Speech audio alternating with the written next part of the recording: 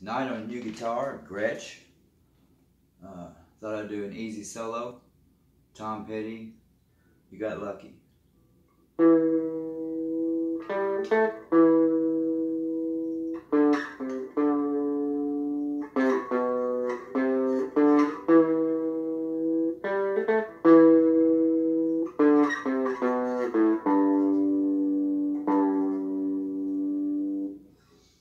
Put the tabs to that in the description as usual. I'm out of the hospital and doing a lot better. It was pretty rough for a while there, so I wasn't able to make a video. I had some bad side effects to the chemo, and one doctor says it may be graft host disease, but we'll see. Otherwise, doing good.